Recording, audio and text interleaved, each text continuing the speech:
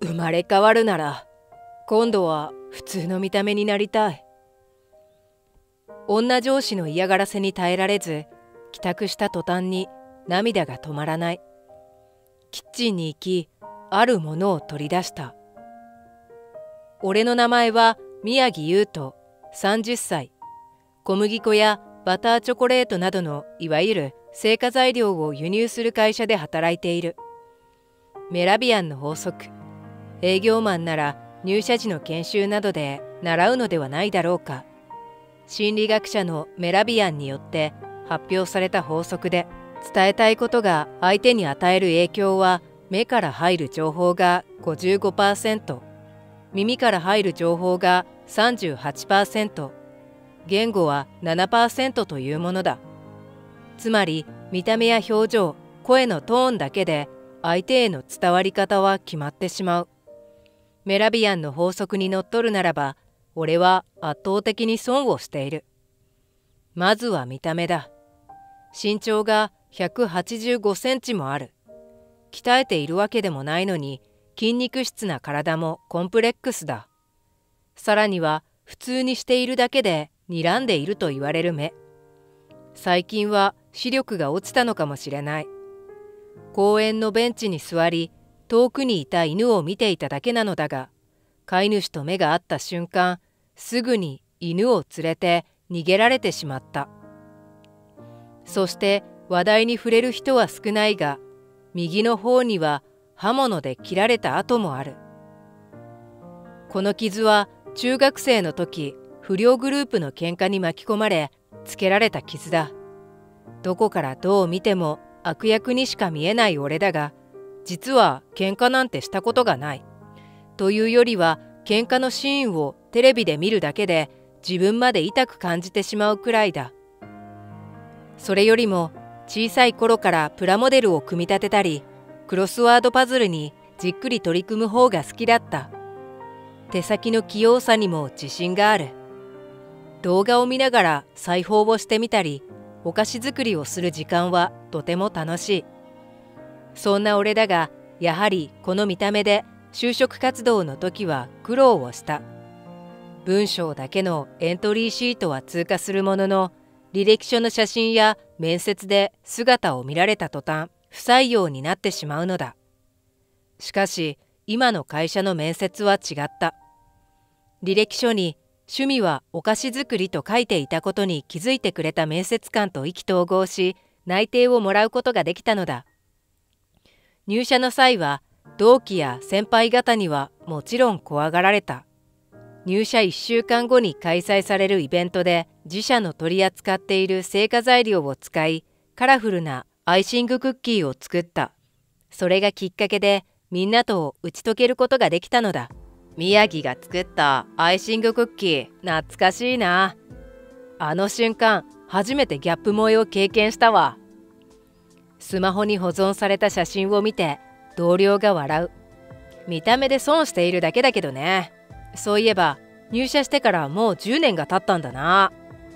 周りのメンバーが変わらないのでここ最近は俺の見た目に関するトラブルはない。緊張すると顔がより怖くなるらしいがさすがに10年も営業をやっていると初対面の人でも自然に笑えるようになった。そしてお菓子作りの熱意が取引先にも伝わり営業成績は意外にも良好だ。そういえば聞いたか？近々大きな人事異動があるらしいぞ。宮城もそろそろ平社員から中間管理職になるかもな。そう言って笑いながら同僚は俺の肩をポンと叩き自分の席に戻っていった。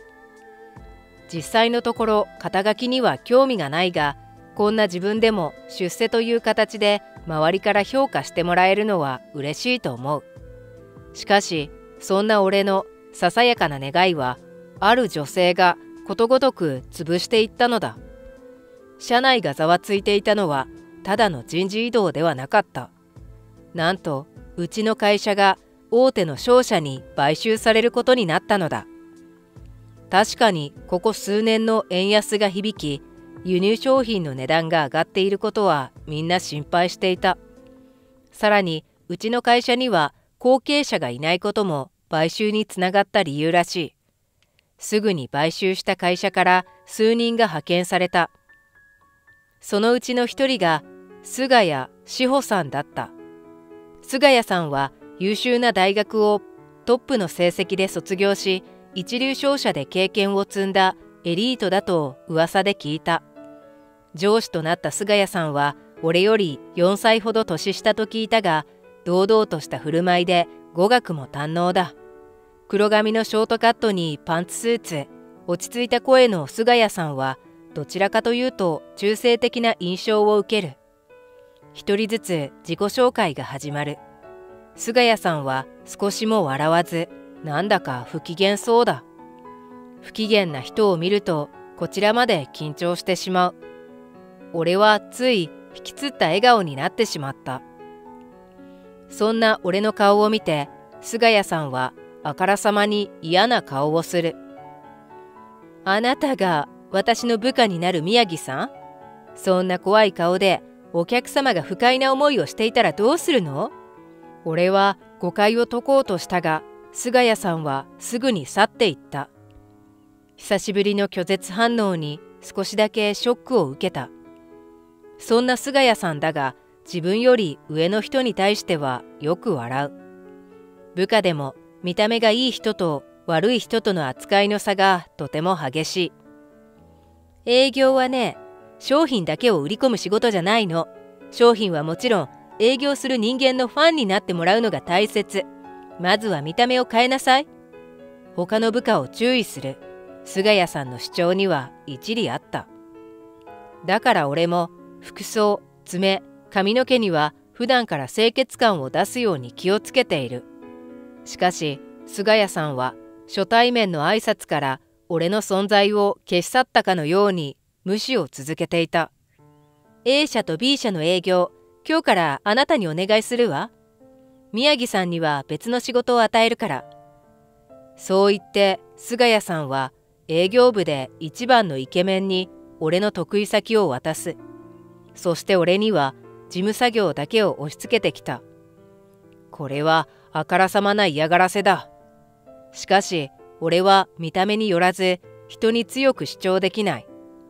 事務作業のような細かい仕事も割と好きなので黙って書類を片付ける日々を受け入れた。その日の夜は少しだけ胃が痛かった。数日後、社内の掲示板で事例が出されていた。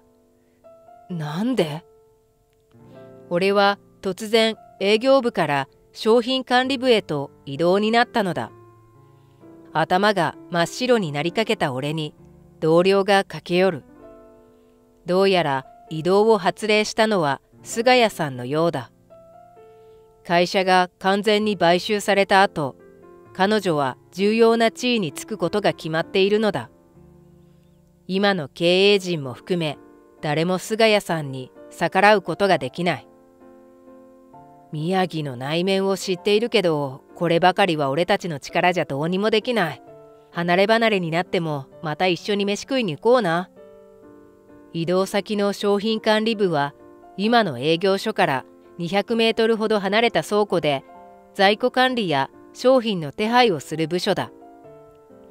俺と顔を合わせたくないということか。見た目が怖いことは自覚しているが事例まで出さなくてもいいじゃないか。しかし反論はできず言われるがままに倉庫行きとなった。倉庫の仕事はとにかく肉体労働が多い。なんとか営業部に戻りたかったが、何も行動ができず、ただ目の前の雑務をこなすしかなかった。移動になって1ヶ月。ある日、仕事が終わると、俺は普段は飲まない酒を無償に飲みたくなった。そんな時、ふらっと入ったバーで、仕立ての良いスーツを着た男性に声をかけられた。あれもしかして宮城先輩じゃないですか？え太一なのか？その男は俺の中学時代の後輩である尾形太一だった。当時はひょろっとした体格でいつもおどおどしていたので、目の前の男が同一人物なのかわからなかった。鍛え上げた体はスーツ越しにもたくましくハキハキと喋っている。太一は中学2年の時に親の都合により海外に行ってしまったから会うのは15年ぶりだろうか。よく俺のことが分かったな。そう言うと太一は得意げに笑いながら一目で分かりましたよ。恩人の顔ですからね。ところで暗い顔してどうしたんですか？と聞いてきた。俺は新しい上司に異動を命じられ、その原因がおそらく見た目だということを太一に打ち明ける。すると彼は驚き、悲しそうな顔でため息をついた。その上司、先輩のことを見た目だけで判断するなんてひどいやつですね。こんなに優しい人、興味いないですよ。そういえば、俺の彼女も最近仕事でヤクザみたいな人に会ったって言っていましたよ。話せばいい人かもよって言ったんですけどね。なんか昔のトラウマとかで目を見るだけで過呼吸になりそうって言っていたんですよ。自分の他にも見た目で損している人がいるんだな。と思いながら俺は太一の話を聞いていた。そして太一は近いうちに今の彼女と結婚することを教えてくれた。彼女は何でも一人で抱え込むタイプでしっかりしているけど守ってあげたくなるんですよね。人を守りたいと思えるくらい強い人間へと成長した太一を見て俺は嬉しかった。そして祝いの気持ちを込めてその晩の酒は盛大におごった。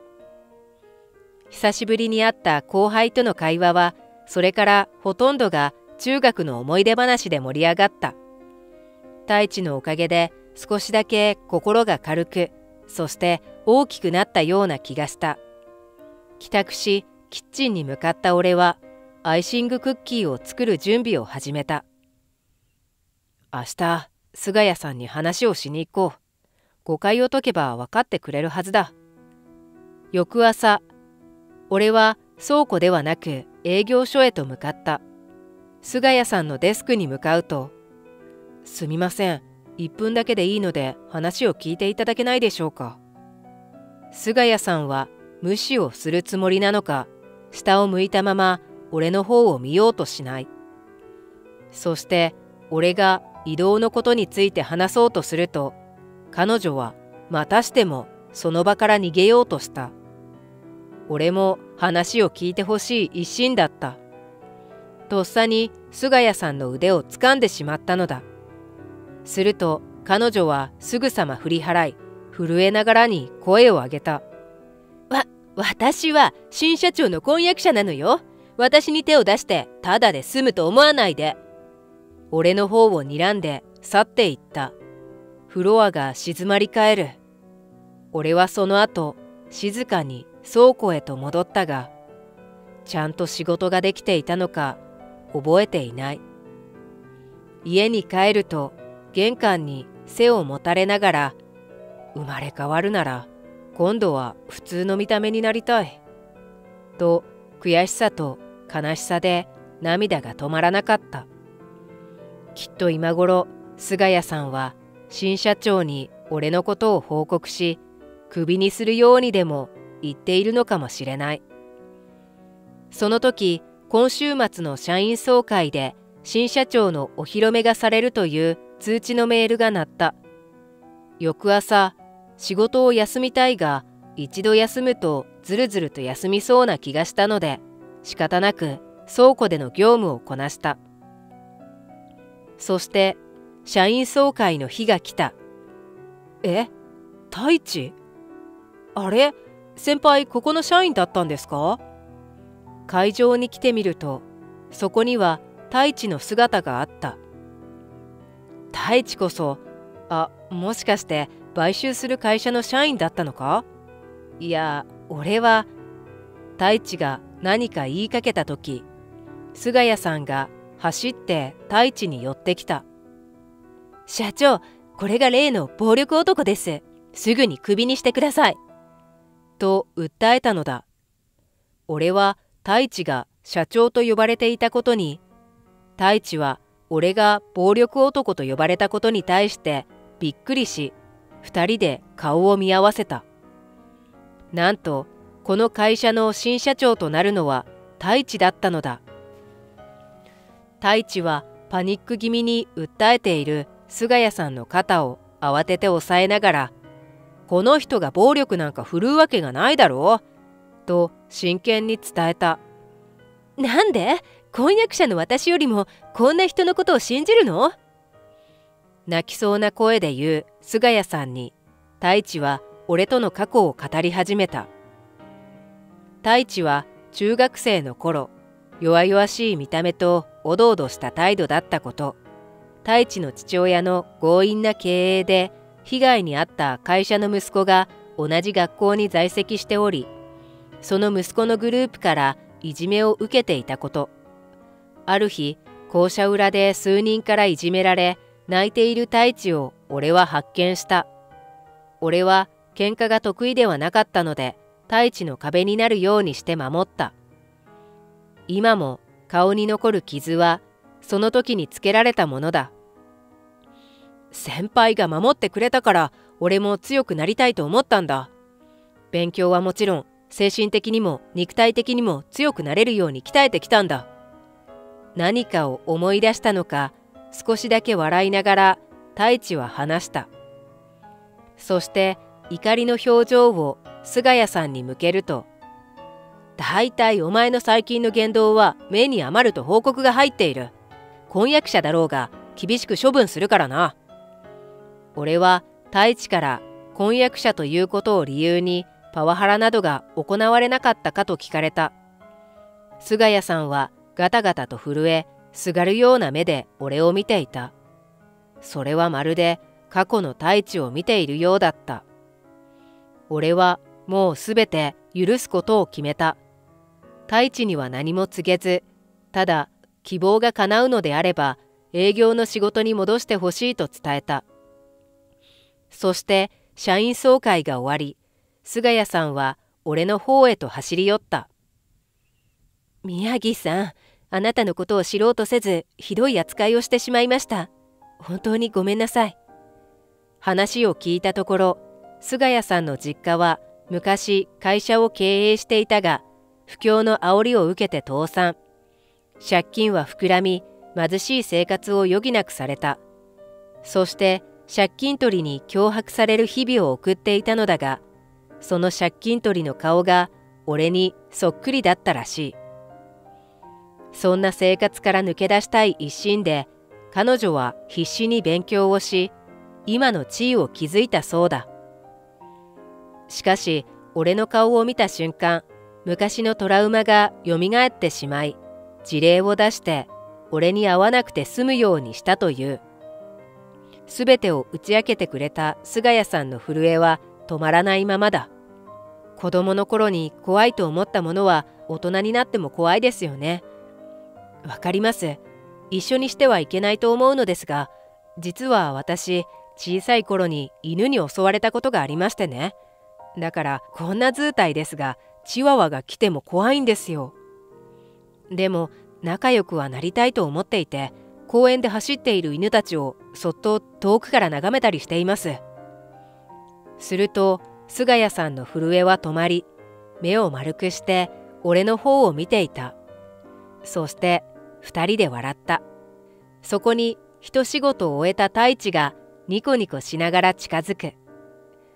話してみるといい人だろう？暴力なんて震える人じゃないんだよ。だって先輩チワワに吠えられて逃げ出すくらいだぜ。その言葉を聞いて俺と菅谷さんはまた顔を見合わせて笑う。今ちょうどその話を聞いたところ。それからというもの菅谷さんは自分にはまだ経験が足りなかったと太一に伝え本社に戻っていった。俺は営業職に復帰しバリバリ働いた。取引先の人も俺が急に担当を外れて心配してくれていたそうだ。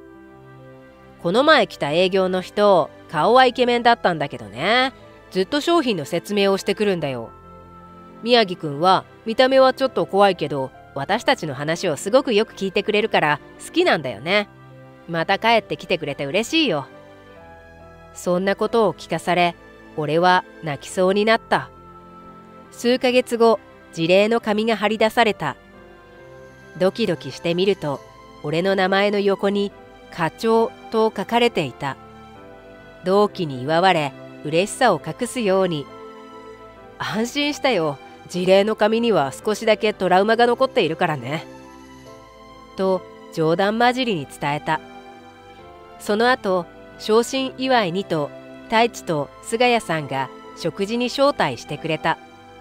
俺のせいで2人の仲が悪くなったんじゃないかと心配していたがスケジュール通りに結婚することを聞いて安心した。おめでとう。俺はにっこり2人に笑いかけた。